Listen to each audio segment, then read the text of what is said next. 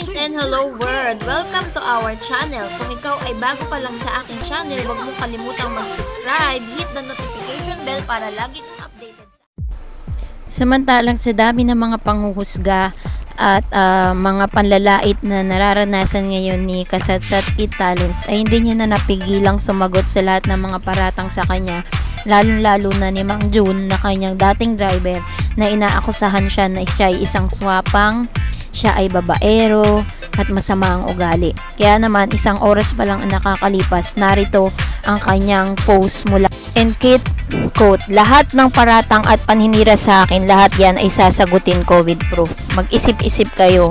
Huwag basta-basta mag-judge hang muna kayo kasi masasakit ang mga salita ninyo sa amin. Una, sa guard. Pangalawa, YouTube channel. Pangatlo, dahilan ng pag-alis. Pang-apat, private life. Pang-lima, separation pay.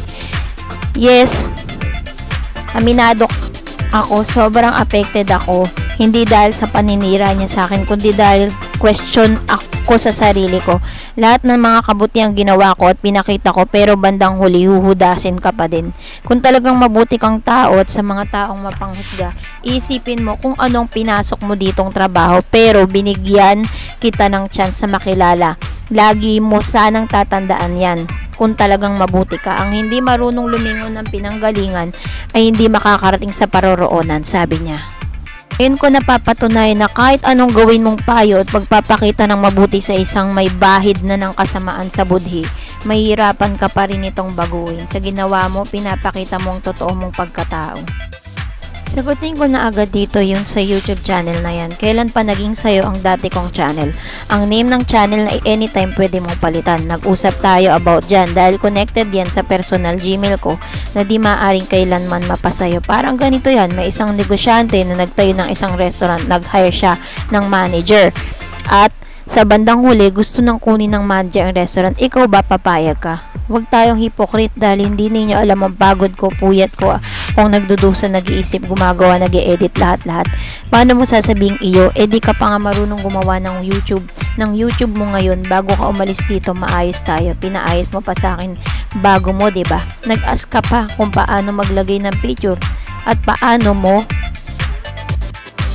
Paano mo nasabing di mo nakikita ang sweldo niyan? Eh di ba nag-upload ka to your city? Sobra-sobrang sahod mo dito every month. Alam mo yan.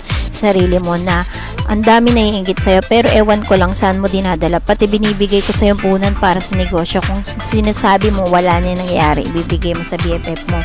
Kasi siya, sabi niya 2K lang binigay mo, 30K binigay ko, dinaan pa natin sa vlog yan. Kaya nga pansin mo, binigyan ka na mali kaya sa akin ng wife mo. Pag may content ka na puro boka-boka sa camera, title mo, laging may name ko, laging may sakit.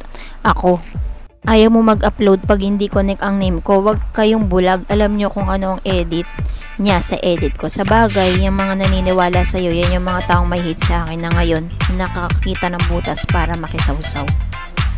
Nabulog ka ng iyong galit. Nabulag ka na ng mataas mong pangarap na kahit may nasisira ka ng tao, wala ka ng paki.